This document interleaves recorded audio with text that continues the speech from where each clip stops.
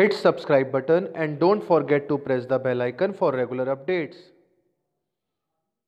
Hello दोस्तों, कैसे हो आप लोग? मेरा नाम है सी जसमीत सिंह अरोड़ा और आप लोग का बहुत बहुत स्वागत है यूट्यूब में डायरेक्ट टेक्स के फ्री फास्ट ट्रैक बैच में। आज ये हमारी सिक्स क्लास है। सिक्स है ना? हाँ सर ये आज हमारी सिक्स क्लास है जो कि रिटायरमेंट बेनिफिट्स पे होगी सैलरी की। ठीक है? इस वीडियो को पूरा देखिएगा। और अगर आप पहली बार ये वीडियो देख रहे हैं और अभी तक आपने मेरा चैनल सब्सक्राइब नहीं किया है तो प्लीज़ इस चैनल को सब्सक्राइब करिएगा। वीडियो पूरा देखिएगा और कमेंट करके ज़रूर बताइएगा आपको वीडियो कैसा लगा। जो भी अच्छा लगे, जो भी बुरा लगे, प्लीज़ कमेंट ज़रूर करिएगा। और बुरा लग रहा है तो कमेंट ज़रूर करिएगा क्योंकि वो हमें हेल्प करेगा इंप्रूव करने के लिए। ठीक है? आइए विदाउट वेस्टिंग एनी टाइम आज का क्लास स्टार्ट करते हैं।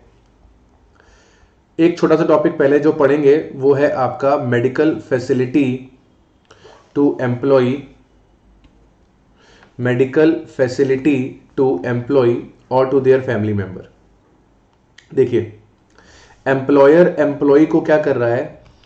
एम्प्लॉयर एम्प्लॉय को या फिर उसके फैमिली मेंबर को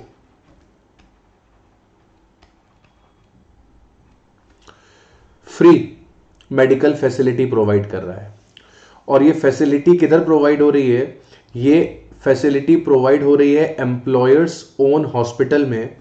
तो ये जो फैसिलिटी है, ये फैसिलिटी फुल्ली एग्ज़ाम रहेगी। इस पर कुछ भी चार्जेबल टू टैक्स नहीं होगा in the hands of employee for example आप जो हैं, आप छोड़िए, अपनी बात करता हूँ। मैं जो हूँ, मैं टाटा मेमोरियल हॉस्पिटल में चार्टेड अकाउंटेंट हूँ।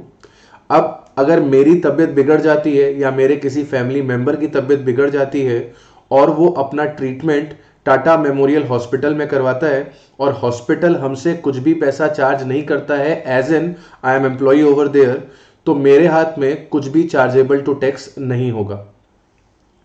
अगर हम ट्रीटमेंट गवर्नमेंट हॉस्पिटल में करवाते हैं और ट्रीटमेंट का खर्चा एम्प्लॉयर बियर करता है तो भी ये फुल्ली एग्जेम्प्ट है, कुछ चार्जेबल टू टैक्स नहीं होगा। एम्प्लॉयर के हॉस्पिटल में ट्रीटमेंट हो रहा है, गवर्नमेंट हॉस्पिटल में ट्रीटमेंट हो रहा है, कुछ भी चार्जेबल टू टैक्स नहीं होगा। Treatment of prescribed disease in approved hospital. देखिए, अगर किसी स्पेसिफाइड डिसीज का इलाज किसी अप्रूव्ड हॉस्पिटल से होता है तो यह भी फुल्ली एग्जेम्प्ट हो जाएगा। क्लियर है? इसके बाद कहता है treatment in private hospital treatment करवा रहे हो आप प्राइवेट हॉस्पिटल में और रीइंबर्समेंट जो है वो आपको रिसीव हो रहा है एम्प्लॉयर से तो ये हो जाएगा फुल्ली टैक्सेबल तो अगर प्राइवेट हॉस्पिटल में इलाज करवा लेते हो या फिर क्लिनिक में इस इलाज करवाते हो और खर्चा उठाता है एम्प्लॉयर या फिर आप एम्प्लॉयर से रीइंबर्समेंट ले लेते हो. फॉर एग्ज़ाम्पल आप बीमार हुए, आपने अपना इलाज हॉस्पिटल में करवाया, पाँच हज़ार रुपए का बिल बना और आपने पाँच हज़ार रुपए अपने एम्प्लॉयर से रिकवर करा लिए. एम्प्लॉयर ने पाँच हज़ार रुपए एम्प्लॉय को रीइंबर्स कर दिए तो ये फुल्ली टैक्सेबल या फिर आपने प्राइवेट हॉस्पिटल में इलाज कराया और जो भी ट्रीटमेंट का एक्सपेंस आया, वो ट्रीटमेंट का एक्सपेंस डायरेक्टली एम्प्लॉयर ने पे किया हॉस्पिटल को, उस केस में भी कुछ भी चार्जेबल टू टैक्स नहीं होगा। क्लियर तीन सॉरी उस केस में ये फुल्ली टैक्सेबल होगा। तीन केसेस जब कुछ भी चार्जेबल टू टैक्स नहीं होंगे, पहला when treatment has been done in employer's own hospital when treatment has been done in government hospital when treatment has been done in approved hospital for the prescribe disease इन तीन cases में nothing shall be chargeable to tax in the hands of employee but in the fourth case if you take treatment in private hospital in private clinic or expenses has been reimbursed by the employer then in this case it will be a fully taxable perquisite ठीक है अब sir ये बता दो कि family member में कौन कौन आएगा बच्चों फैमिली मेंबर में कौन कौन आएगा फैमिली मेंबर में स्पाउस आ जाएगी ठीक है चिल्ड्रंस आ जाएँगे।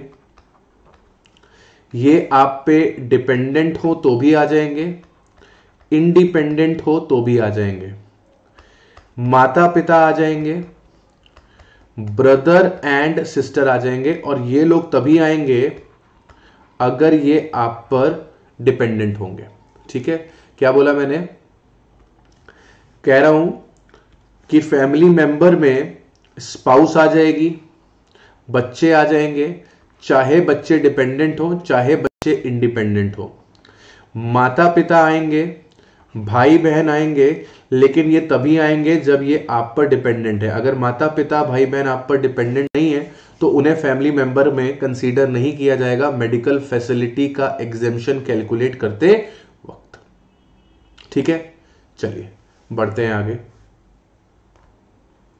नेक्स्ट टॉपिक आता है section ten ten double A leave salary मैं जब फेस टू फेस पढ़ाता हूँ तो ये वाला टॉपिक बच्चों को बहुत परेशान करता है लीव सैलरी का। इसमें एक छोटी सी कैलकुलेशन है जो तकलीफ़ देती है। मैं कोशिश करूँगा उसको सिंप्लीफाइड वे में आपको समझाने की और एग्ज़ाम्पल देके बताने की। ये लीव सैलरी है क्या? देखिए, हमारा एम्प्लॉयर एम्प्लॉय को सर्टेन पेड लीव्स देता है कि भाई, अगर आप लीव लोगे तो आपके लीव का सैलरी डिडक्ट नहीं होगा। उस दिन का सैलरी आपका डिडक्ट नहीं होगा। ये एम्प्लॉयर एम्प्लॉय को ईयरली सर्टेन लीव्स अलाउ करता है। सर्टेन पेड लीव्स अलाउ करता है। और अगर एम्प्लॉय वो पेड लीव्स अवेल ना करके एम्प्लॉयर को सर्विसेज़ रेंडर करता है तो एम्प्लॉयर एम्प्लॉय को एडिशनल कंसिडरेशन देता है लीव सैलरी का, कि भाई तू छुट्टी ले सकता था, तू लीव ले सकता था, तूने लीव नहीं ली, तूने उस लीव डेज़ में भी आके ऑर्गेनाइजेशन को अपनी सर्विसेज़ रेंडर करी तो उसके लिए वो हमें एडिशनल कंसिडरेशन देता है। तो ये लीव एनकैशमेंट अगर आपने ड्यूरिंग द एम्प्लॉयमेंट करा लिया है तो ये फुल्ली टैक्सेबल है। क्लियर फॉर एग्ज़ाम्पल आपके एम्प्लॉयर ने एम्प्लॉयर ने आपको थर्टी लीव्स दी हैं एक साल में। थर्टी पेड लीव्स हैं। ठीक है? और आपने इस थर्टी पेड लीव्स में से केवल ट्वेंटी लीव्स अवेल करी और टेन लीव्स पे आपने काम किया है। और जब ईयर एंड होता है आप इन टेन लीव्स को एनकैश करवा लेते हो। तो ये क्या कह रहा है कि अगर ड्यूरिंग द ईयर आपने ये लीव्स एनकैश करवा ली तो ये लीव्स क्या हो जाएँगी? ये लीव्स हो जाएँगी फुल्ली टैक्सेबल क्लियर दूसरा ऑप्शन क्या है? आप अपने एम्प्लॉयर से कहें कि सर, ये मेरी जो अनअवेल्ड लीव्स है, इसे आप एक्यूमुलेट करते चलो। और जब मैं ऑर्गेनाइजेशन से चाहूँगा, या जब मैं रिटायर होऊँगा, आप मुझे तब एक साथ इन अनअवेल्ड लीव्स का पेमेंट कर देना। तो हम बोलेंगे कि आपने पैसा लमसम में रिसीव किया है at the time of retirement और अगर at the time of retirement आपने लीव इनकैशमेंट लिया है, और आप गवर्नमेंट एम्प्लॉय हैं तो आपका ये लीव एनकैशमेंट पूरी तरीके से सर एग्जेम्प्ट है. इट इज़ फुल्ली एग्जेम्प्ट अगर आप नॉन गवर्नमेंट एम्प्लॉय हैं तो least of the following shall be exempt least of the following shall be exempt क्या है लीस्ट चेक करते हैं.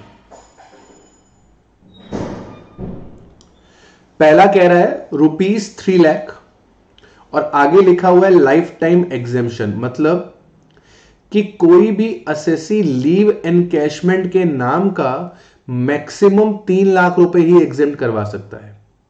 अगर आप पहले पुराने एम्प्लॉयर से कुछ पैसा लीव एनकैशमेंट का एग्जेम करवा चुके हैं तो जितना एग्जेम्पन आप पहले ले चुके हैं, उतने अमाउंट से ये अमाउंट रिड्यूस हो जाएगा।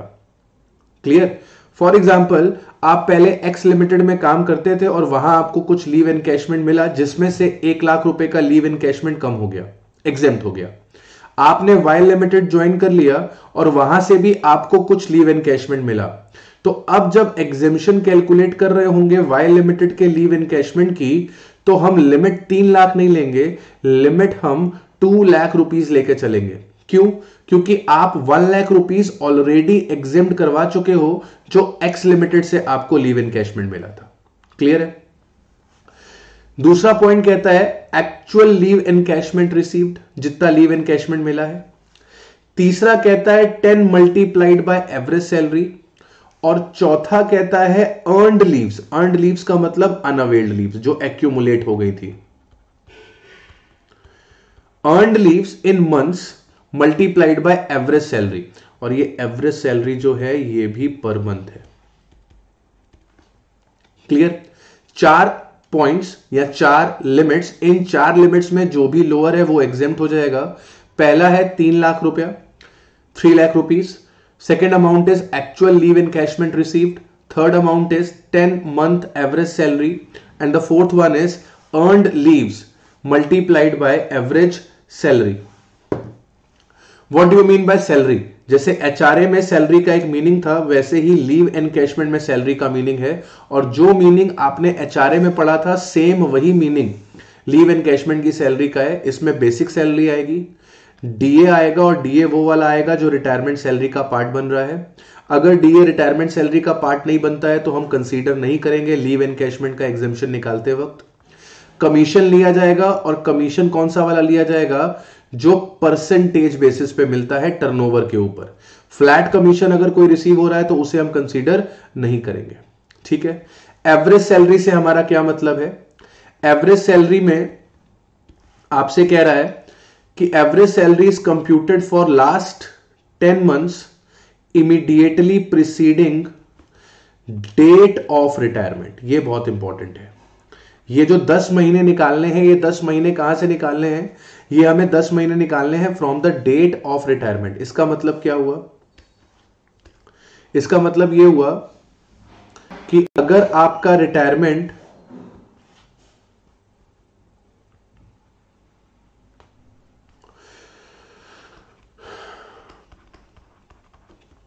सपोज़ आपका रिटायरमेंट हुआ है टेंथ जुलाई 2018 को तो टेन मंथ्स कहाँ से कैलकुलेट करने हैं? टेन मंथ्स कैलकुलेट करने हैं इमीडिएटली प्रीसीडिंग डे से।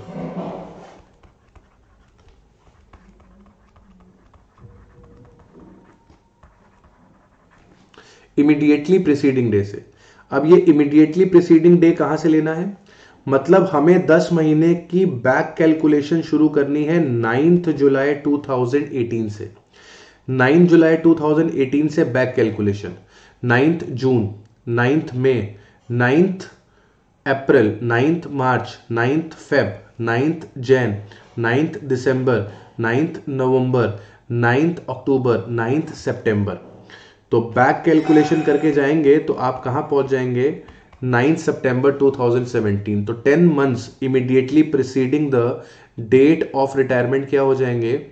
नाइन्थ जुलाई 18 से नाइन्थ सितंबर 17 की जो सैलरी है, इसकी सैलरी ले ली जाएगी और इसकी सैलरी को 10 मंथ से डिवाइड कर दिया जाएगा एवरेज सैलरी कैलकुलेट करने के लिए।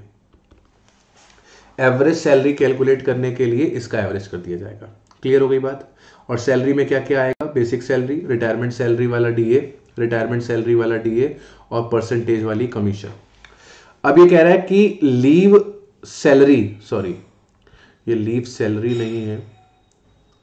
इधर काट के हम लिख देते हैं अनअवेल्ड लीव्स या फिर आप कह लो अर्नड लीव्स कैसे निकलेंगी। अर्नड लीव्स के लिए आप कह रहा है लीव एंटाइटलमेंट में से लीव अवेल्ड माइनस कर दीजिए। माइनस कर दीजिए लीव एनकैश्ड ठीक है? मतलब कहना क्या चाह रहा है? कह रहा है कि लीव एंटाइटलमेंट में जितना आप लीव्स अवेल कर चुके हैं और जितना लीव एनकैश कर चुके हैं, उसे माइनस कर दीजिए। मतलब कि जैसे आपके पास आपने 20 साल काम किया और हर साल एम्प्लॉयर आपको 25 दिन की छुट्टी देता था मतलब आपके पास टोटल 500 डेज़ का लीव था। और आपने क्या किया है? 100 लीव्स का पेमेंट आप ऑलरेडी ले चुके हो। 100 लीव्स का पेमेंट आप एनकैश करा चुके हो और 200 लीव्स आप अवेल कर चुके हो। क्लियर है? 200 लीव्स आप अवेल कर चुके हो तो आपके पास बचा कितना? 500 लीव्स थे 100 लीव का तो आपने पैसा ही ले लिया। तो बचे कितने? 400 400 में 200 लीव्स आप ले चुके हो तो बची कितनी? 200 आपको जो लीव एंटाइटलमेंट रिसीव होगा, वो कितने का रिसीव होगा? वो 200 डेज़ का रिसीव होगा। ठीक है? अभी भी नहीं समझ में आया सर चलो, मैं इसको साफ़ साफ़ अच्छे तरीके से आपको समझा देता हूँ। देखो, जब तक मुझे तसल्ली नहीं होती ना कि आपको समझ में आ गया है, तब तक मैं आगे नहीं बढ़ता हूँ। ये मेरे अंदर एक बुरी आदत है। मैं बच्चों पे छोड़ता नहीं हूँ। जब तक मुझे ये ना लगे कि हाँ बच्चा बिल्कुल अच्छे से समझ गया है, तब तक मैं आगे नहीं बढ़ता हूँ। ठीक। देखिए for example for example employer employee को 25 डेज़ लीव देता है ईच ईयर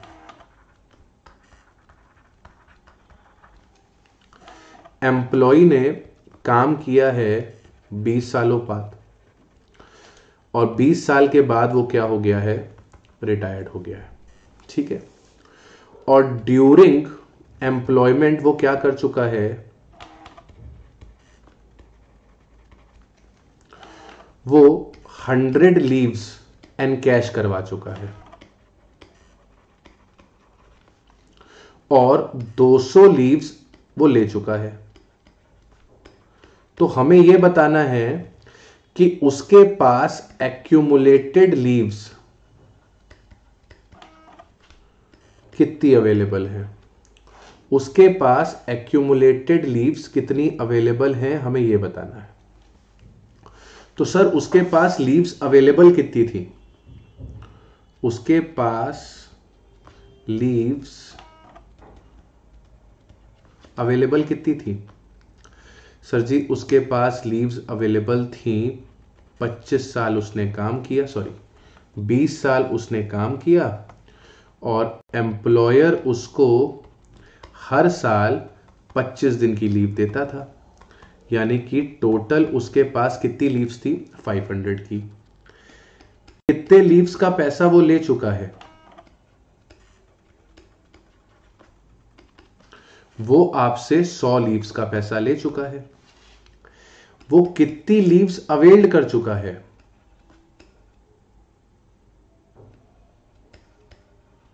वो कितनी लीव्स अवेल्ड कर चुका है। सर जी, वो 200 लीव्स अवेल कर चुका है। तो बच्चों, मुझे ये बताओ, प्यारे बच्चों, मुझे ये बताओ कि उसके पास कितनी लीव्स बची हैं?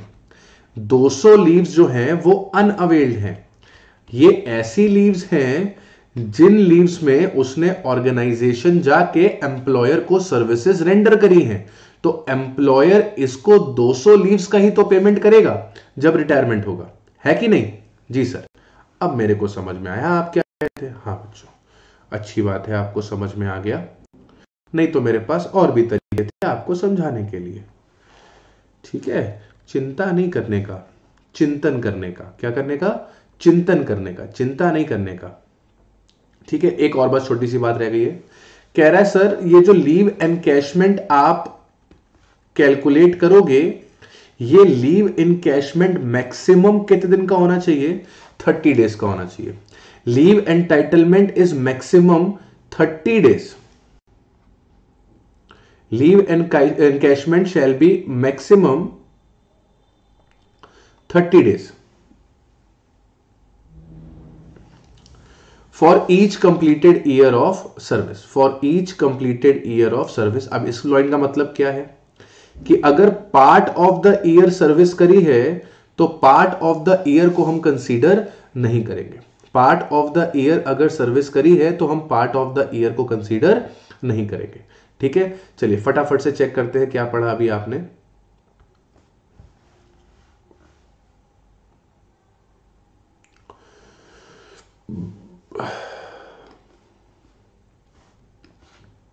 पहला लिमिट तीन लाख रुपए। दूसरा एक्चुअल लीव एनकैशमेंट रिसीव्ड तीसरा टेन मंथ का एवरेज सैलरी चौथा earned leaves in months multiplied by average salary average salary में क्या आएगा? पिछले दस महीने का सैलरी और दस महीने कब से कैलकुलेट करने हैं? Immediately preceding the date of retirement salary में क्या क्या आएगा? जो एच में आता था. बेसिक सैलरी रिटायरमेंट सैलरी वाला डीए और परसेंटेज वाली कमीशन लीव मैक्सिमम कितने के लिए निकालनी है? सर थर्टी डेज़ से ज़्यादा की लीव कंसीडर नहीं करनी है. ठीक है बच्चों. आप लोग बड़े होशियार हो यार। फटाफट से बातें पकड़ लेते हो मेरी। ठीक, चलिए, आइए एग्ज़ाम्पल करते हैं तो आपको बातें और क्लियर होंगी। Mister X an employee of A limited retire from the company on thirty eleven two thousand eighteen at the time of his retirement he receive two lakh eighty eight thousand as a leave salary from his employer the following information is provided by the employee retirement के वक्त salary था उसका eighteen thousand rupees period of service twenty years and eight months leave encashment two lakh eighty eight thousand leaves availed while in service is fourteen months balance unavailed leaves is sixteen months average salary for the month of Feb 2018 to November 2018 यानी कि last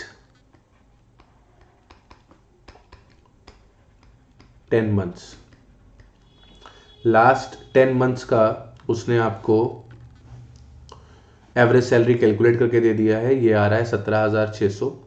leave entitlement है आपका 1.5 month 1.5 month का मतलब क्या हो गया? Sir 1.5 months का मतलब हो गया, हमें जो लीव मिल रही है, वो मिल रही है वन फोर्टी फाइव डेज़ की। For every completed year of service calculate करना है लीव इनकैशमेंट ठीक है बच्चों, करते हैं स्टार्ट भगवान का नाम लेके। जय श्री राम। बोलो बच्चों, कस के बोलो, आवाज़ नहीं आई। जय श्री राम। सर, आप सरदार हो, जय श्री राम बोल रहे हो। अरे बच्चों, भगवान एक है, जय श्री राम बोलो, वाहिगुरु बोलो, गुरु नानक बोलो, सब एक ही बात है। है कि नहीं? जी, चलो, फटाफट से। क्या कह रहा था? क्या कह रहा था? Least of the following shall be exempt least of following shall be exempt. Uh, the first one is rupees 3 lakh. Second one is leave encashment.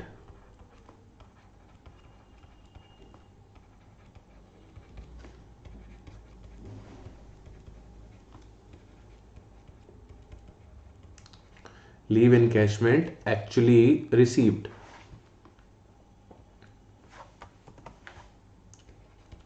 Leave encashment actually received that is rupees 2 lakh 88000 third point 10 multiplied by average salary that is 10 multiplied by average salary question ने हमको निकाल के दी हुई है हमें मेहनत नहीं करनी है सत्रह हज़ार छह सौ रुपए एवरेज सैलरी दी हुई है सत्रह हज़ार छः सौ रुपये तो ये टोटल हो जाएगा one lakh seventy six thousand rupees and चौथा हमें थोड़ा मेहनत करना पड़ेगा।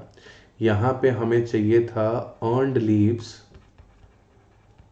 और ये अर्नड लीव्स किसमें चाहिए था? ये अर्नड लीव चाहिए था हमको इन मंथ्स और इसके साथ हमें मल्टीप्लाई कराना था एवरेज सैलरी अब ये अर्नड लीव्स के कैलकुलेशन कैसे होनी थी? सर, ये अर्नड लीव की कैलकुलेशन होनी थी maximum thirty days leave for each completed year ठीक है ना? और हमारा एम्प्लॉयर हमें कितने दिन की छुट्टी दे रहा है? हमारा एम्प्लॉयर हमें 45 डेज़ की लीव दे रहा है। और कह रहा है कि 14 महीने की सर्विस सॉरी 14 महीने की लीव्स ये अवेल कर चुका है। 14 महीने की ये लीव्स अवेल कर चुका है। 14 महीने is equals to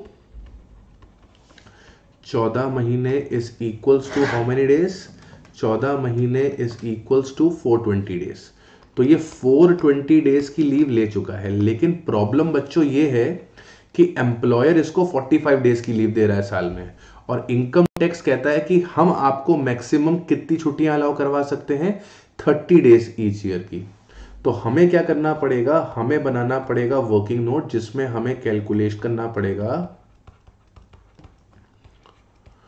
unavailed leaves और ये अनअवेल्ड लीव्स हमें कैसे निकालनी पड़ेंगी? मैक्सिमम थर्टी डेज़ के लिए। तो हम यहाँ क्या लिखते हैं कि इसके पास लीव्स अवेलेबल कितनी थी? अब ये लीव्स अवेलेबल जो लिखेंगे वो 45 डेज़ के हिसाब से नहीं लिखेंगे, ये 30 डेज़ के हिसाब से लिखेंगे। 30 days for each completed year.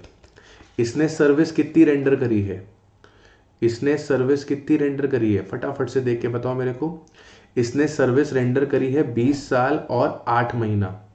तो 8 महीना हम कंसीडर नहीं करेंगे, हम सिर्फ़ कितना कंसीडर करेंगे? 20 साल।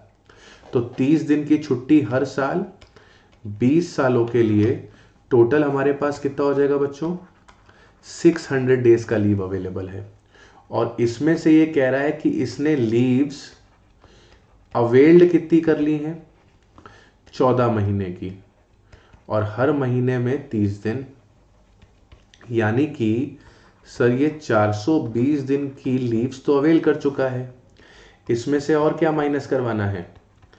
कितना लीव एनकैश्ड करा लिया है? एनकैश्ड के बारे में क्वेश्चन साइलेंट है। तो टोटल हमारे पास कितनी लीव्स बच रही हैं? टोटल हमारे पास बच रही हैं 180 डेज़ की अनअवेल्ड लीव्स। ये अनअवेल्ड लीव्स को अपन अगर मंथ में कन्वर्ट कर दें तो ये मंथ में कितना हो जाएगा? 180 डेज़ को 30 डेज़ से सर जी, आप डिवाइड करा दीजिएगा तो ये आपके पास छः महीना आ जाएगा। यानी कि वापस से अगर फॉर्मूले में चलें तो हमें यहाँ पे क्या करना है? Six month multiplied by average salary और एवरेज सैलरी हमको क्वेश्चन में दी है सत्रह हज़ार छः सौ रुपये सत्रह हज़ार छः सौ मल्टीप्लाइड बाय छ lakh five thousand six hundred now what question says least of the following shall be exempt तो जरा बच्चों देख के बताओ लीस्ट क्या है? क्या तीन लाख रुपए लीस्ट है? क्या two lakh eighty eight thousand least है? क्या one lakh seventy six thousand least है? कि सर, एक लाख पाँच हज़ार छ सौ रुपए लीस्ट है। बच्चों लीस्ट है एक लाख पाँच हज़ार छ सौ one lakh five thousand six hundred is the least amount and this amount will be exempted okay तो ये एक लाख पाँच हज़ार छह सौ रुपए क्या हो जाएँगे ये एक लाख पाँच हज़ार छह सौ रुपए one lakh five thousand six hundred rupees will be exempted. What will be the uh, taxable amount of HRA? Sir, taxable HRA, sorry H R H R से आ गया sir taxable leave encashment taxable leave encashment will be two lakh eighty eight thousand minus minus minus minus one lakh five thousand and six hundred that is two lakh eighty eight thousand minus one lakh five thousand six hundred one lakh eighty two thousand 82,400 this is the taxable taxable leave encashment. Okay? Sir sir sir एक question और अरे बच्चों एक क्या दो लो एक क्या दो लो चलो एक क्वेश्चन और करते हैं example X was employed with ABC limited he retired on first Feb 2019 after completing 24 years and four months देखो लीव एनकैशमेंट निकालने जा रहे हैं। तो इस फोर मंथ का कुछ नहीं करना है 24 साल को ध्यान में रखना। Basic at the time of retirement was 25,000 DA 100 percent of the basic salary of which 40 percent forms the part of retirement salary तो हमें से 40 परसेंट से मतलब रहेगा। Last increment was rupees 2500 with effect from 1 7 2018 he receives a leave encashment of 2,80,000 on account of accumulated leaves of 240 days 240 days यानी कि ये as per employer as per employer unavailed leaves हैं. As per employer unavailed leaves हैं. And he was entitled to 40 days leave लेकिन income tax वाले क्या कहते हैं? सर कैलकुलेशन 30 डेज़ पे बेस्ड होनी चाहिए. ये कैलकुलेशन 40 डेज़ पे बेस्ड है. यानी कि अनअवेल्ड लीव्स निकालने के लिए हमें 30 डेज़ के हिसाब से कैलकुलेशन अपने हिसाब से करनी पड़ेगी. चलिए स्टार्ट करते हैं. पहला अमाउंट आपसे क्या कहता है? पहला पहला पहला पहला अमाउंट आपसे क्या कहता है? सर जी, पहला कहता है, सबसे पहले तो बोलता है sir least of following shall be exempt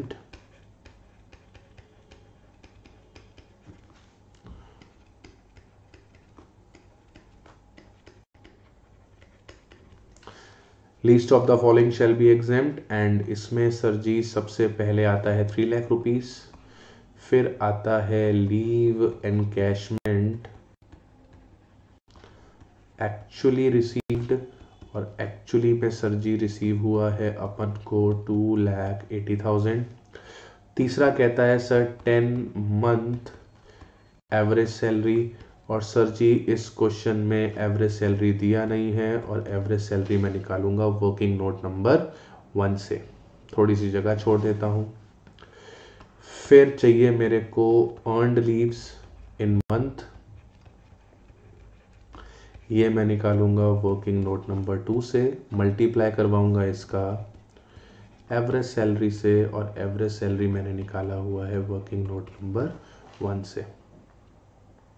ठीक है? चलिए वर्किंग नोट नंबर वन पे आते हैं। सबसे पहले क्या निकालते हैं? एवरेज सैलरी एवरेज सैलरी कितना होगा?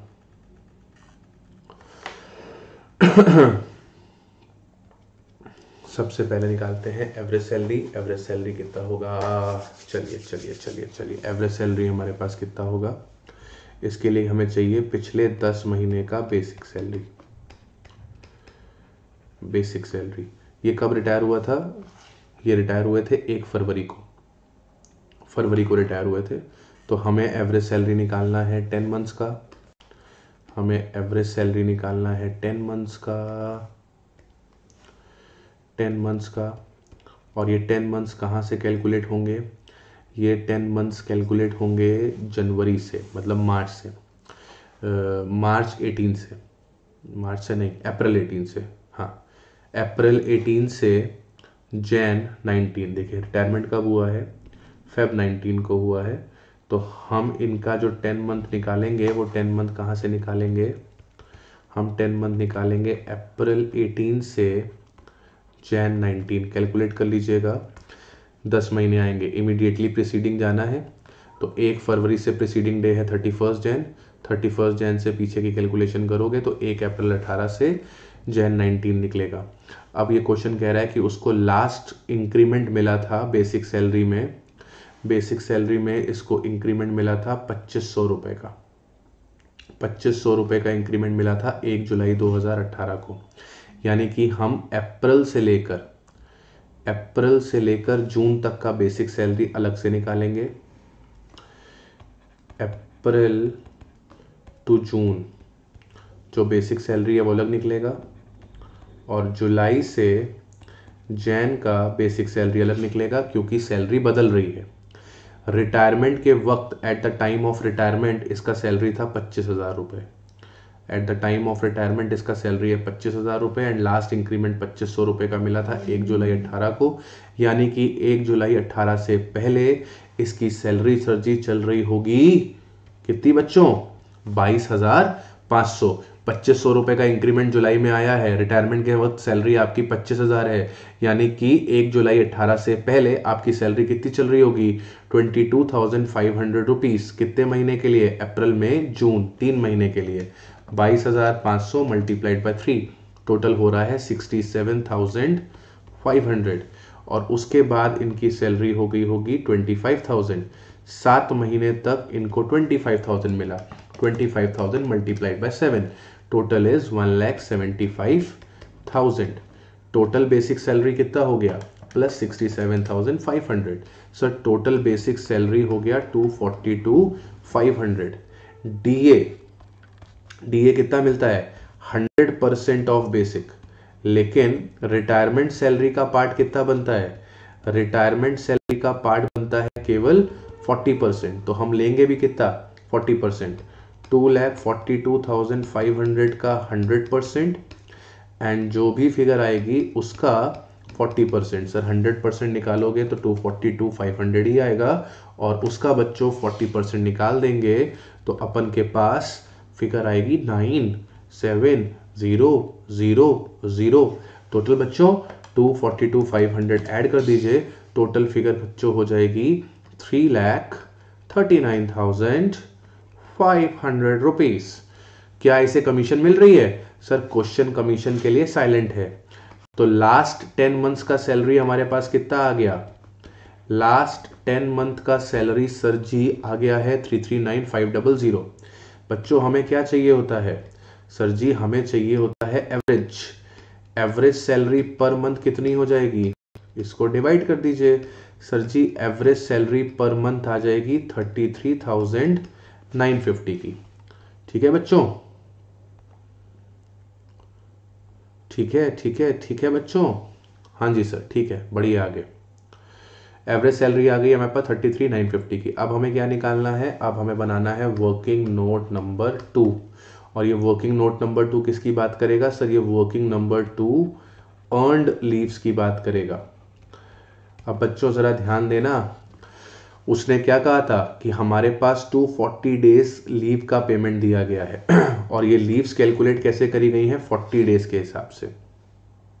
ठीक है। इसने कितने साल काम किया है? 24 इयर्स काम किया है। फोर मंथ्स को मैं इग्नोर कर रहा हूँ। ठीक है। चलो, मैं आपको दो तरीके सिखाता हूँ। पहले मैं आपको ऑप्शन नंबर वन बताता हूँ। Option number one earn leaves निकालने का ऑप्शन नंबर वन। अब देखो, क्योंकि कैलकुलेशन 40 डेज़ के बेसिस पे है और हमें लीव्स अवेल्ड नहीं दिया हुआ है, हमें लीव्स अवेल्ड नहीं दिया है, हमें गिवन क्या है? हमें गिवन है कि 40 डेज़ का लीव दिया जाता है हर साल। 40 डेज़ का लीव्स दिया जाता है हर साल, ये दिया हुआ है। और हमें क्या दिया हुआ है? 240 डेज़ का अनअवेल्ड लीव्स है। एज पर एम्प्लॉयर तो ऑब्वियस है कि ये अनअवेल्ड लीव्स किसके हिसाब से कैलकुलेट करी गई होगी? 40 डेज़ के हिसाब से करी होगी। 20 इयर्स की सर्विस है इसकी। 24 इयर्स का ही सर्विस है ना? सर्विस कितने का है? सर्विस 24 इयर्स का है। ठीक है। तो अब हमें अनअवेल्ड लीव्स नहीं दिया हुआ है। ये 40 डेज़ का लीव एवरी ईयर है टू फोर्टी डेज़ का अनअवेल्ड लीव्स है 24 इयर्स का सर्विस है। हमें अन सॉरी हमें अवेल्ड लीव्स नहीं दिया है। तो पहला काम आप क्या करिए अवेल्ड लीव्स कैलकुलेट कर लीजिए। अवेल्ड लीव्स कैसे लिख लिख लेंगी? लीव्स अवेलेबल कितनी है, ये ले लीजिए। लीव्स अवेलेबल हैं 40 दिन हर साल, और हमने काम किया है 24 इयर्स तो टोटल लीव्स निकल आएँगी 960 डेज़ की अवेलेबल और इसमें से हम लीव्स कितने नहीं लिए हैं वो माइनस कर दीजिए। अनअवेल्ड लीव्स 240 हैं। यानी कि एम्प्लॉयर का रिकॉर्ड कहता है कि हम 720 डेज़ का लीव ले चुके हैं। एम्प्लॉयर का रिकॉर्ड कहता है कि हम 720 डेज़ का लीव ले चुके हैं। ये 720 डेज़ क्या निकला है? सर, ये 720 डेज़ लीव्स अवेल्ड निकला है। अब ये जो कैलकुलेशन थी 40 डेज़ के हिसाब से थी, अब आप कैलकुलेशन कैसे कर लीजिए? 30 डेज़ के हिसाब से। लीव्स अवेलेबल कितनी है? लीव्स अवेलेबल है 30 डेज़ हर ईयर और कितने ईयर्स काम किया है? हमने 24 ईयर्स काम किया है। 24 four into thirty seven twenty leaves available हैं। और लीव्स अवेलेबल में से लीव्स अवेल्ड माइनस करवा दी जाती हैं। और सर जी लीव्स अवेल्ड अभी अभी आपने निकाली हैं और वो हैं 720 डेज़ यानी कि as per income tax 720 days का लीव अवेलेबल है और आप 720 डेज़ का लीव ले चुके हो। आपके पास अनअवेल्ड लीव्स कितनी हैं? ज़ीरो हैं। ये था option number one option number one में हमने क्या किया? जब आपको अनअवेल्ड लीव्स नहीं दी हुई हैं और leaves allowed per annum thirty days से ज़्यादा है तो स्टेप वन में आपने क्या कैलकुलेट कर लिया? स्टेप वन में आपने लीव्स अवेल्ड कैलकुलेट कर ली और स्टेप टू में आपने अनअवेल्ड लीव्स कैलकुलेट कर ली थर्टी डेज़ के हिसाब से। दूसरा एक शॉर्टकट तरीका ऑप्शन नंबर टू शॉर्टकट तरीका option number two option number two क्या कहता है? कहता है, आपके पास लीव्स अनअवेल्ड कितनी है एज पर एम्प्लॉयर आपके पास लीव्स अनअवेल्ड कितनी है एज पर एम्प्लॉयर तो मैंने कहा एज पर एम्प्लॉयर मेरे पास 240 डेज़ लीव पड़ी हुई है. फिर मुझसे पूछा कि आपको एक्स्ट्रा लीव्स कितनी मिली हैं? एक्स्ट्रा लीव्स बोले तो मतलब इनकम टैक्स थर्टी डेज़ की लीव बोलता है। आपके एम्प्लॉयर ने आपको कितनी दी है? मेरे एम्प्लॉयर ने सर मेरे को दी है फोर्टी अच्छा फोर्टी में से थर्टी माइनस कर देंगे, सर। मतलब सर, हमें टेन डेज़ का लीव एक्स्ट्रा मिलता है हर साल। और आपने कितने साल काम किया? हमने सर ट्वेंटी फोर ईयर्स काम किया। तो इस टू फोर्टी डेज़ में, इस टू फोर्टी डेज़ में दस दिन की छुट्टी एक्स्ट्रा है फॉर ट्वेंटी फोर ईयर्स तो जो एक्स्ट्रा लीव्स है वो माइनस कर दीजिए। Extra leaves two forty days minus हो गई। तो 240 में से 240 माइनस हो गई। आपके पास अनअवेल्ड एज पर 30 डेज़ कितना है? आपके पास अनअवेल्ड एज पर 30 डेज़ भी ज़ीरो डेज़ निकल रहा है। यानी कि यानी कि वापस से अगर हम अपनी कैलकुलेशन पे आ जाएँ तो अर्नड लीव्स हमारे पास यहाँ पर कितनी है? ज़ीरो और एवरेज सैलरी हमने कितना निकाला था? एवरेज सैलरी हमने निकाला था थर्टी थ्री नाइन फिफ्टी तो zero multiplied by thirty three nine fifty will be zero and here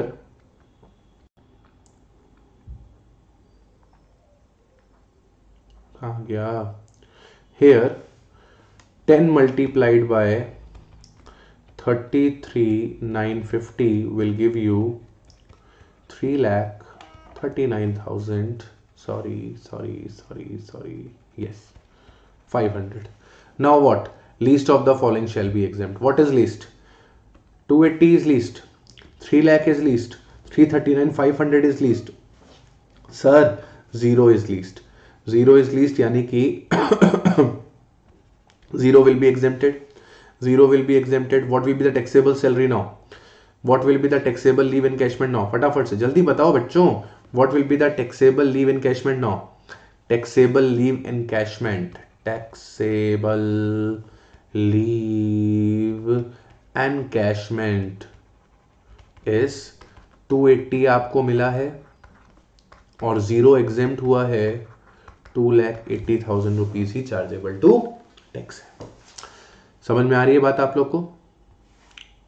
clear हुआ है कॉन्सेप्ट बढ़ू आगे। हाँ जी सर, बढ़ जाओ आगे, बढ़ो बढ़ो बढ़ो, जी बढ़ो बढ़ो। चलिए, बढ़ते हैं आगे। अगला कॉन्सेप्ट है हमारे पास, सर जी ग्रेचुटी ग्रेचुटी कहाँ एग्जेम्प्ट होती है? Sir gratuity is a retirement benefit it is a retirement benefit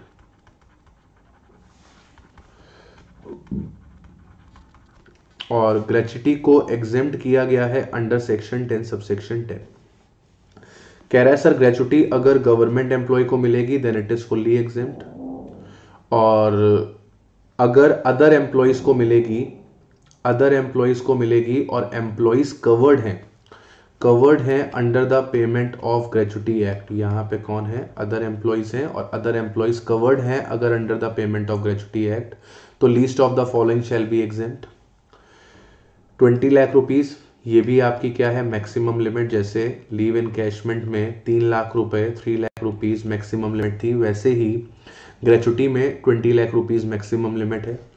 दूसरा अमाउंट है ग्रेचुटी रिसीव्ड और तीसरा अमाउंट है fifteen by twenty six multiplied by salary last drawn multiplied by completed year of service और यहाँ पर एक पॉइंट लिखा है if more than six month take it as complete year for example आपने twenty four years and seven month काम किया है then it will be taken as twenty five years और अगर आपने twenty four years and six month काम किया है it will be taken as twenty four years ठीक है? अगर 24 साल और 6 महीने हैं तो 6 महीने इग्नोर कर देंगे। और अगर 24 साल 6 महीने, एक दिन 6 महीने से ज़्यादा काम किया है तो उस एक्सेस को पार्ट देयर ऑफ़ को हम क्या मान लेंगे? कंप्लीट ईयर अगर 6 महीने से ज़्यादा काम किया है तो हम उसे क्या मान लेंगे? Completed year salary last drawn, salary last drawn में क्या क्या आएगा? सर, सैलरी लास्ट ड्रॉन में बेसिक सैलरी आएगी और डियरनेस अलाउंस आएगा। अब इसके आगे कुछ नहीं लिखा हुआ। मतलब कि डीए चाहे रिटायरमेंट सैलरी का पार्ट बने, चाहे ना बने। दोनों ही केसेस में, दोनों ही केसेस में ये डीए लिया जाएगा। मतलब जितना भी डीए एम्प्लॉयर प्रोवाइड कर रहा है, वो ग्रेचुटी की एग्जेम्पन कैलकुलेट करने में यूज़ किया जाएगा। अगर एम्प्लॉय अदर एम्प्लॉय है अदर एम्प्लॉय बोले तो नॉन गवर्नमेंट एम्प्लॉय है और प्रोविडेंट फंड एक्ट में कवर होता है। ठीक है? फटाफट से लिमिट्स देख लीजिए। पहली लिमिट ट्वेंटी लैख दूसरी लिमिट ग्रेचुटी एक्चुअली received, तीसरी limit 15 upon 26 multiplied by salary last on multiplied by completed year of service if completed year of service is more than 6 months then it should be taken as complete year for example 24 years 6 month and 1 day 24 year 6 month and 1 day will be equals to 25 year whereas 24 years and 6 month is equivalent to 24 years ठीक फटाफट से example करते हैं Mr. X, an employee, completed 27 years and 8 months of service with X Limited. देखो 27 साल और 8 महीने काम किया तो 6 महीने से ज़्यादा काम कर दिया अब इसे अपन क्या मान के चलेंगे इसे अपन मान के चलेंगे 28 eight years of service with X limited and at the time of retirement on first Jan 19 he received the gratuity of rupees three lakh his monthly salary on the date of retirement was 19500 he was withdrawing 19000 per month prior to july 2018 find out the amount of taxable gratuity if employee is covered under the payment of gratuity act if employee is covered under the payment of gratuity act तो पहला limit क्या कहता है सबसे पहले तो वो बोलता है least of the following shall be exempt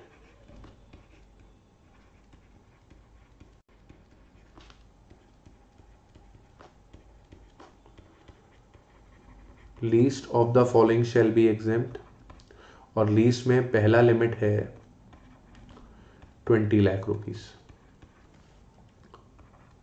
दूसरा लिमिट है amount actually received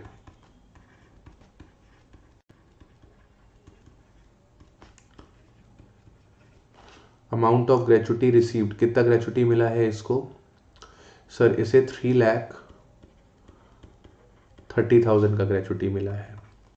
तीसरा पॉइंट कहता है fifteen by twenty six multiplied by salary last draw जिस समय रिटायरमेंट हुआ था, उस समय सैलरी चल रहा था nineteen thousand five hundred multiplied by completed year of service and if it is more than six month it shall be taken as complete nineteen thousand five hundred into fifteen upon twenty six multiplied by twenty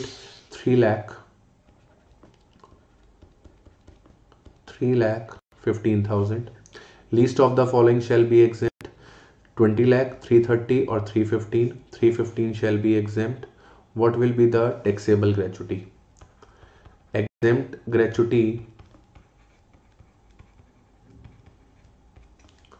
exempt gratuity is 3 lakh 15000 and taxable gratuity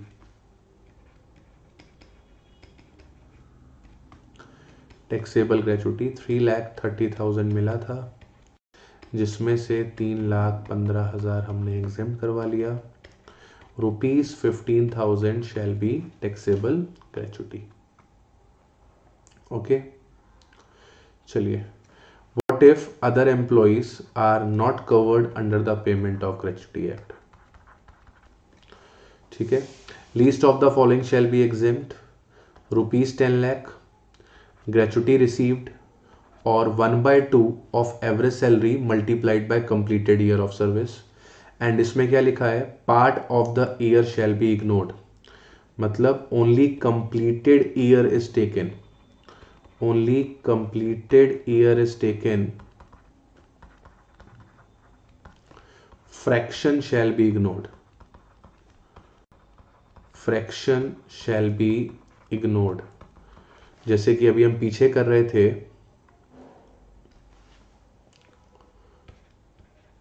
service covered under the gratuity act not covered under the gratuity act. 24 years and 6 month.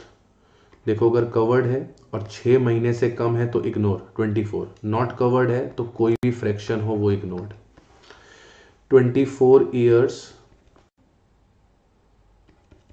six month one day यहाँ पर हो जाएगा 25 years क्योंकि six month से ज़्यादा है, और यहाँ पे स्टिल मेरा answer same 24 years 24 years 11 month 29 days यहाँ पे 25 ईयर्स और यहाँ पे स्टिल 24 ईयर्स जब तक साल कंप्लीट नहीं हो जाएगा नॉट कवर्ड में उसे कंसीडर नहीं करना है। दूसरी चीज़ ध्यान दीजिए कवर्ड में 15 बाय 26 था, यहाँ पे 1 बाय 2 है। कवर्ड में सैलरी लास्ट ड्रॉन था, यहाँ पर एवरेज सैलरी है। वहाँ पर फ्रैक्शन अगर छह महीने से ज़्यादा होता था कंसीडर कर लेते थे, यहाँ पर फ्रैक्शन बिल्कुल भी कंसीडर नहीं करना है। वहाँ पर लिमिट 20 लाख रुपीस की थी, यहाँ पर लिमिट टेन लाख रुपीस की है। और ये जो टेन लाख की लिमिट है this is maximum ceiling limit, maximum limit. इससे ज़्यादा ग्रेचुटी कोई व्यक्ति एग्जेम्प्ट नहीं करा सकता। क्लियर है? अब एवरेज सैलरी का मतलब क्या है? Average salary is computed for last ten month immediately preceding the month of retirement देखिए लीव एनकैशमेंट में it was date of retirement यहाँ पे immediately preceding month of retirement वहाँ पर भी आखिरी दस महीने थे, यहाँ पर भी आखिरी दस महीने हैं, लेकिन लीव इनकैशमेंट में दस महीने कैलकुलेट हो रहे थे रिटायरमेंट डेट से ठीक एक दिन पहले से।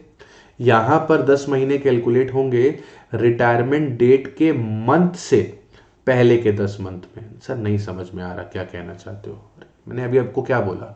जब तक आप नहीं समझोगे, तब तक मैं आगे नहीं बढ़ूँगा। सपोज़ रिटायरमेंट हुई है। नाइन्थ फेब 19 को। लीव एनकैशमेंट में जो 10 महीने निकाले जाएँगे,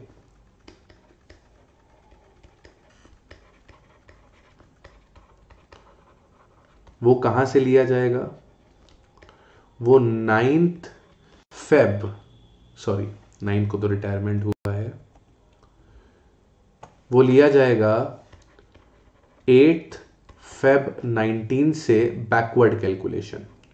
एट्थ फेब 19 से आप बैकवर्ड चाहोगे तो आएगा एट्थ अप्रैल 18 अप्रैल, एट्थ अप्रैल 18 से एट्थ मई 18 जून 18 जुलाई 18 अगस्त 18 सितंबर 18 अक्टूबर 18 नवंबर 18 दिसंबर 18 जैन 18 फेब 18 दस महीने जो निकलेंगे वो एट फेब नाइनटीन से एट अप्रैल एटीन तक निकलेंगे। और यही अगर केस हो और ग्रेचुटी का केस हो ग्रेचुटी का केस कौन सा वाला? नॉट कवर्ड वाला केस हो। तो उस केस में हम क्या करेंगे? अगर नॉट कवर्ड वाला केस होगा तो नॉट कवर्ड वाला केस होगा तो इमीडिएटली प्रिसीडिंग मंथ चाहिए हमको। Immediately preceding immediately preceding month of retirement चाहिए अपने को।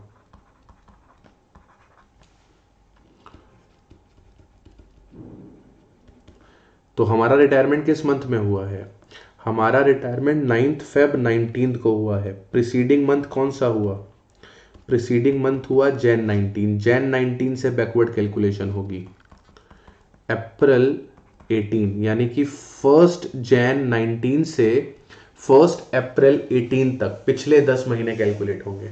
वहाँ पे 8 फेब 19 जिस दिन रिटायरमेंट हुआ, उससे ठीक एक दिन पहले, यहाँ पे जिस महीने रिटायरमेंट हुआ, उससे पहले वाले महीने से 10 महीने कैलकुलेट किए जाएँगे। क्लियर है? जी सर, अब समझ में आया, आप कहना क्या चाहते थे? ठीक यहाँ पे सर सैलरी का मतलब क्या है? सर, यहाँ पे सैलरी का मतलब सेम एज एच आर है। बेसिक सैलरी लिया जाएगा डीए वो वाला लिया जाएगा जो रिटायरमेंट सैलरी का पार्ट बन रहा है कमीशन वो वाला लिया जाएगा जो परसेंटेज बेसिस पे है। एचआरए वाली सैलरी एच में ली है एचआरए वाली सैलरी लीव एंड कैशमेंट में ली है और एचआरए वाली सैलरी ही हमने एचआरए वाली सैलरी ही हमने ये आपका ग्रेचुटी में ली है नॉट कवर्ड वाले केस में। क्लियर है? चलिए क्वेश्चन करते हैं। Mr. M was employed since 1 1 1985 in X Limited. His salary was fixed at rupees 14,800 in the grade of 14,400 2000 with effect from 1st 716. He got 15% of his salary as a DA, forms a part of retirement salary. He retired on 1st Feb 19. He received rupees 3,40,000 as a gratuity from his employer. Calculate the taxable gratuity if he is not covered under the Payment of Gratuity Act.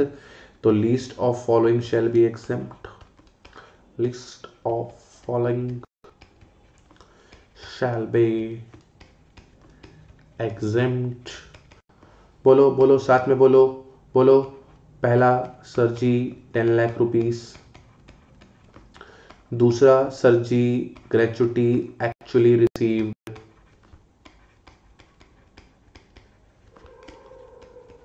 what is gratuity actually received actually में sir ji मिला है एना three lakh forty thousand and the last one is half of average salary multiplied by completed year okay now we have to calculate average salary now we have to calculate average salary and before that before that what we have to do before that we have to calculate his basic salary working note calculation of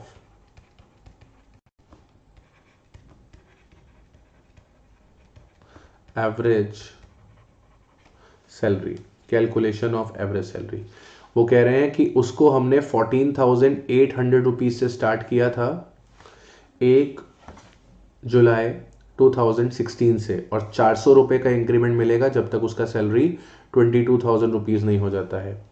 यानी कि first जुलाई 16 से thirtieth June 17 तक ही was getting 14,800 per month then from first July 17 to 30th June 18 he was getting 15,200 per month.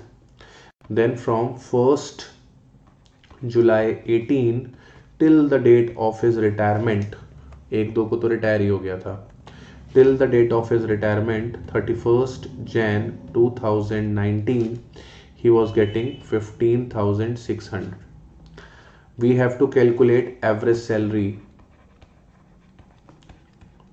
of 10 months and 10 months shall be counted from Jan 19 causes retirement has been taken place on 1st Feb 19. So we have to calculate 10 months before the month of retirement. Month of retirement is Feb. Feb से पहले के 10 महीने Jan से it will be start from Jan 19 to April 18 backward calculation we have to do or if we write in a proper way then it should be then it should be like this April 18 to Jan 19. During April 18 during April 18 to June 18 he was getting 15200 per month and rest of the 9 months from July 18 to Jan 19 he was getting 15600 rupees per month. 15200 multiplied by 3 is 45600 and 15600 multiplied by 9 it is 1 lakh 40400 total will be 1 lakh 86000 this is just basic now we have to add now we have to add DA now we have to add DA 100% of basic. And it forms the part of retirement salary. That is 1 lakh 86,000 total will be 3 lakh 72,000 this is 10 months salary. We have to calculate the average. Average will be 3 lakh 72,000 divided by 10 months. That is rupees 37,200 now put this in provision. 1 by 2 multiplied by 37,200 multiplied by completed years and completed years was he was working since 1 1 1985 now we have to calculate completed years as well completed years then completed years की अगर हम बात करें तो one one 1985 to 31st Jan 2019 31st Jan 2019 so it will be around 16 and 18 34 years and 1 month. So we have to ignore 1 month. We have to only take completed years. So we will multiply over here 34 years.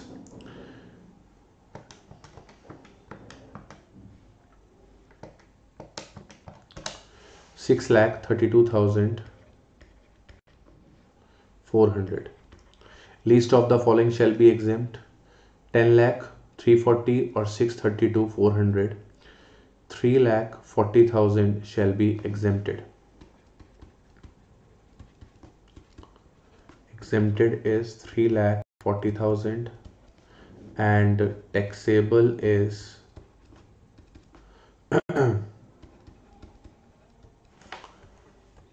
taxable is nothing zero. Cause 340 you have received and 340 got exempted. Taxable is nothing. ठीक है बच्चों? Clear हो गया? मज़ा आ रहा है? Comment ज़रूर करना, कैसा लग रहा है? चलिए लास्ट टॉपिक एंड हमारा retirement benefit over last topic and हमारा रिटायरमेंट बेनिफिट बिल्कुल पूरे तरीके से ओवर हो जाएगा। आता है pension pension uncommuted pension. Pension दो तरीके की होती है, अनकम्यूटेड और कम्यूटेड। अनकम्यूटेड कैसी होती है? सर, जो मंथली मिलती है, वो अनकम्यूटेड होती है और अनकम्यूटेड पेंशन जो होती है, वो ओनली टैक्सेबल होती है, चाहे आप गवर्नमेंट एम्प्लॉय हैं, चाहे आप प्राइवेट एम्प्लॉय हैं। कम्यूटेड पेंशन कैसा होता है? कम्यूटेड पेंशन होता है जो आपको लमसम में रिसीव होता है, उसे हम कम्यूटेड पेंशन बोलते हैं। गवर्नमेंट एम्प्लॉय के केस में गवर्नमेंट एम्प्लॉय के केस में it is fully exempt. Non government employee के केस में नॉन गवर्नमेंट एम्प्लॉय के केस में अगर आपको ग्रेचुटी मिलता है तो one third of full value of pension is exempt and अगर आपको ग्रेचुटी नहीं मिलता है तो half of the full value of pension is except uncommuted pension कौन सी होती है? सर जो मंथली मिलती है, ये मंथली पेंशन फुली टैक्सेबल होती है, चाहे गवर्नमेंट एम्प्लॉय को मिले, चाहे नॉन गवर्नमेंट एम्प्लॉय को मिले। कम्यूटेड पेंशन जो होती है, वो लमसम पेंशन होती है। गवर्नमेंट एम्प्लॉय के केस में ये एग्जेम्प्ट होती है। नॉन गवर्नमेंट एम्प्लॉय के केस में दो केसेस हैं। अगर ग्रेचुटी मिल रहा है तो one third of the total gratuity is exempt sorry one third of the total pension is exempt और अगर और अगर ग्रेचुटी रिसीव नहीं हो रहा है तो half of the total pension is exempt clear है क्वेश्चन करते हैं फिर पैकअप करते हैं A retired on 15th 4 2018 from B Limited. He was entitled to a pension of rupees 4000 per month. At the time of retirement, he got 75% of his pension commuted and received 1,20,000 as commuted pension. Compute the taxable portion of pension if any. He is not entitled to gratuity, he is entitled to gratuity. देखिए total pension कैसे निकलती है total pension निकलती है अपन commuted pension को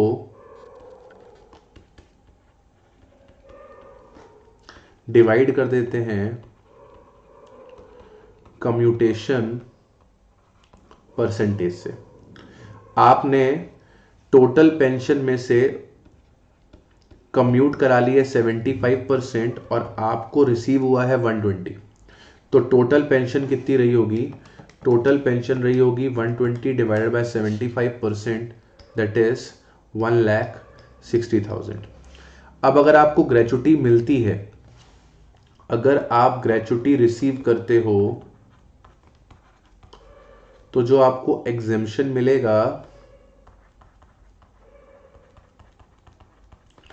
वो मिलेगा वन लैख सिक्सटी थाउज़ेंड का वन बाय थ्री यानी कि fifty three thousand three hundred and thirty three यानी कि आपका टैक्सेबल कम्यूटेड पेंशन कितने का हो जाएगा? टैक्सेबल कम्यूटेड पेंशन हो जाएगा one lakh twenty thousand minus fifty three thousand three hundred and thirty three that is sixty six thousand six hundred and sixty seven और अगर आपको ग्रेचुटी रिसीव नहीं हो रहा है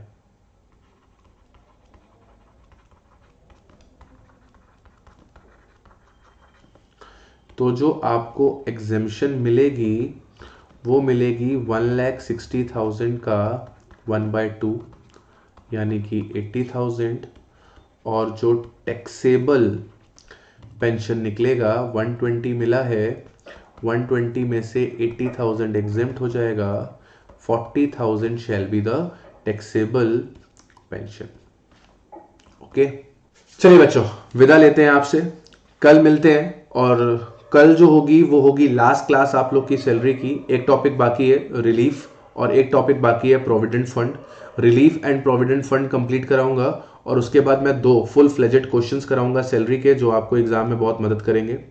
अगर आपने ये वीडियो लास्ट तक देखा है तो नीचे कमेंट करके ज़रूर बताइएगा कि आपको ये वीडियो कैसा लगा। ठीक है?